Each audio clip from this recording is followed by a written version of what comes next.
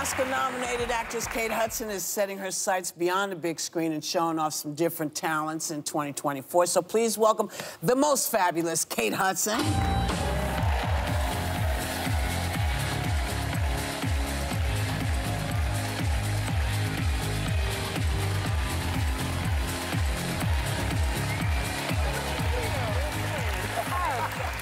Like 5,000 years. Hi, honey. I miss you.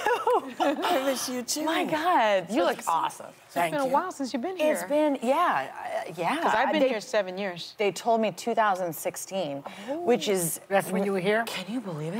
Oh. That I think freaks that me was out. the I think that was the year I was fired.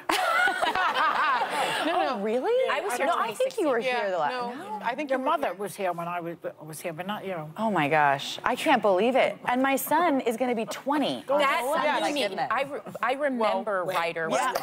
Yes, that little guy Let's, is. let's let's unpack that Yeah. well, before we get into how I had him, which was having sex, which was a great I would like to ask you about that because um, I wanted to know if you heard us and if, if you had any tips, like things that you really shouldn't do after sex. that you shouldn't do. or should. I Just or oh, tip. Pee. You have to pee. Oh, thank you. should do that. That is great. For you. So you have to. So, so you have to get up out of bed though. Well, or like dance out of, I don't know, prance. prance out of bed. Pardon me. Yeah. I'm, I'm more of like, I'm more of like with Whoopi. I'm like, I just leave.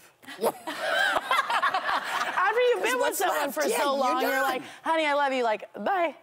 That's stuff to do. Exactly. You're a very busy woman. And speaking Yeah. of busy, so this year you said that one of the things you want to be doing more is singing. You have an incredible voice, and Yeah. you're actually going to be Oh, putting yeah. out an album at some point. What made you want to do this? Tell us everything. I'm so excited. Well, I feel like I'm going to get to that at some point this year, but um, I mean, long story short, I've been writing and singing my whole life. Wow. I've just never shared it. And then COVID, I, I get, you know, you get asked a lot of questions over and over again, and one of them is, what are your, do you have any regrets? And, and that just kept going in my head. Like, if I don't put a record out, I'll regret it. And uh, so why not? And and then my other thing is is that if I was going to do it, I had to commit to it. So I took two years and I wrote a record, and I can't wait to share it. Um, and I'm excited. And I also just have no expectation of like it's you know I just want to put music out. So, It's so a- um, it's my my dear, you posted a Mother's Day tribute to your mother. Uh, this child's mother is Goldie Hawn. Uh, that was last year, and she gave you. You said that she gave you freedom to be wild. Yeah. What, what does that Well, mean? she's wild. How wild?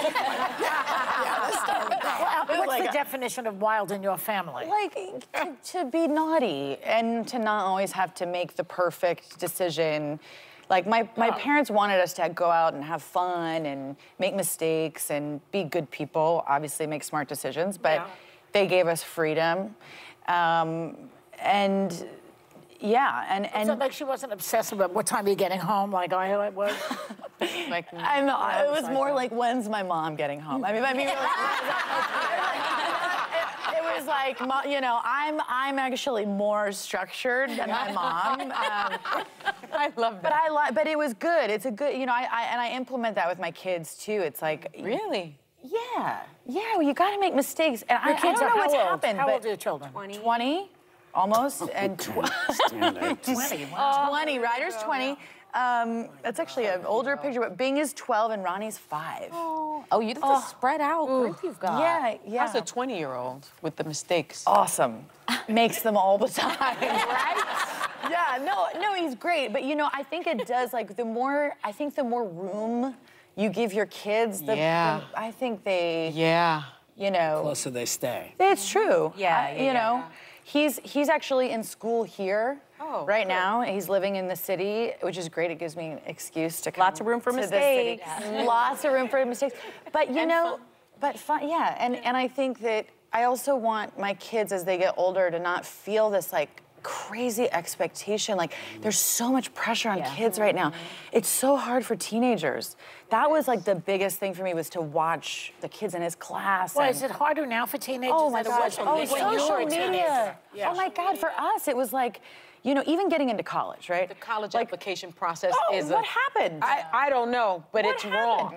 It's crazy. It's bad. And, and and and when I was, it was like, who's going to college? Like, I don't know. Yeah. You know, I was Yeah. kind of like that, like only 20 years ago. And Uh-huh. so now you see all these kids. It's like if they don't get into this school, then what does that mean about The who they anxiety are? that they put on And it's like a job for them to get in now, like it, on top of all their schoolwork and everything else they're doing. Which doesn't make any Yeah. sense because we know that people, some people who haven't even graduated from college, are leading the way in innovation, are Yeah. Yeah. CEOs of major Well, you don't want to fortune. encourage that. You want them to. Well, go. no, I- I, I I, want- Have an encourage- EGOT at the table. I know, but I didn't go to college. I didn't go It's either. not everybody has your talent. Woman. No, but everybody does And not. not everyone is has not a beautiful voice. a not part of the everybody is- institution. Yes, they're Yeah, not yeah. everybody if, can if you're do not, if, if that isn't your calling, Yeah. there are other ways to educate yourself. it. Yeah. Uh, sorry. Well, and, pu- and pushing But I- kids into places they're not ready nor want can Well, cause that's you a bigger mistake. problems. That's yeah, yeah, yeah. Or make them feel anxiety, Yeah. or lead them to feeling depressed about where they are in their life and what it means and how significant they are. Like all kids have to be so significant. Yeah. And it's like, what does that even mean? Yeah, yeah. You know, because we're because I think that social media Social media is is sort of makes you think like, oh, everybody needs to be an entrepreneur. Oh no, everybody needs to like be excelling in this way. It's like, what happened to craftsmanship? What happened to, you know, introverts? They don't the importance understand of the that- yeah, introvert. yeah. And they don't understand that these Instagram posts and the TikTok, those are highlight reels. Yeah. They're not They're real. coiffed. There are They're filters coiffed. and everything else. But Kate, I really want to ask. yourself. I filter. I want to ask you about your brother too, because you guys are doing um, Oliver Hudson, your brother. You guys have a podcast called Sibling Revelry. Yeah. if I'm getting that right. Yeah. And um, I have three siblings, so I know how complicated Oh, these yeah. relationships can be.